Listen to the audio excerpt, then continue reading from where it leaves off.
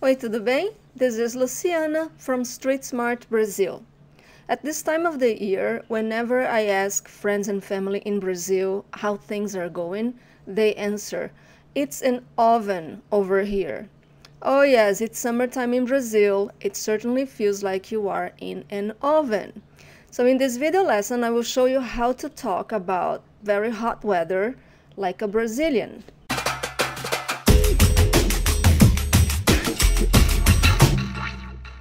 Tá um forno. So this is the phrase. Tá um forno. Literally, it means it's an oven. Of course, what it means is that, is that it's really, really hot. I'm putting the tá in italics because it's a short form for the verb estar in the present conjugation, third person. In spoken Brazilian Portuguese, we tend to drop the first syllable of the verb estar, and we do that in other conjugations, not just the present tense. Um, we also do that in personal informal written communications, such as Facebook and text messages, but I would not do that in business communications. You can use the expression um forno in other verb tenses, not only in the present tense. Let me show you examples using the phrase. All the examples are on the blog post. The translations are also on the blog post, so I recommend you follow along with the blog post. You will find the link to the blog in the video description or click in the eye on the right top corner of the screen. So here I am saying, Oi mãe, como vão as coisas? Oi mãe, como vão as coisas? E, and my mom responds, Tá um forno aqui. Você não tem ideia. Tá um forno aqui. Você não tem ideia. Márcia says, E aí, gostou de São Luís? So the trick for this first little part is putting it all together. E aí? E aí? I'll read the whole sentence again. E aí?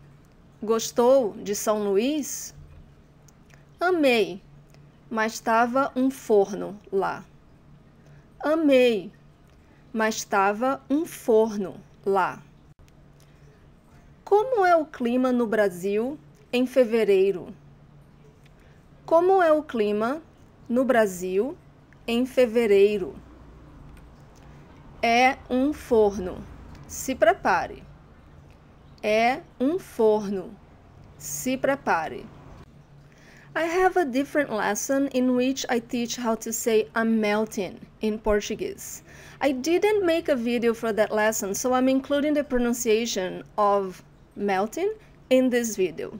Visit the original lesson to learn how to use the phrase in two different situations. You will find a link to this other lesson in the video description and in the right top corner of the screen.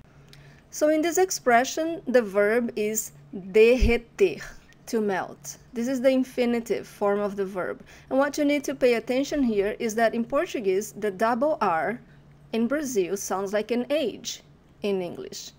So, derreter, derreter. In the expression I am melting, the ing form is derretendo, derretendo. And I do have a lesson on the ing form in Portuguese, so you can find the link also in the video description and on the top right of the screen. Book a trial lesson with one of our instructors to practice and to advance your Portuguese. Just imagine how nice it will feel to speak Portuguese confidently. Our Portuguese lessons via Skype are a simple, convenient, and effective way to learn Portuguese with very well prepared instructors. Book a trial lesson to check for yourself. Thank you so much for watching this lesson. Ciao, ciao.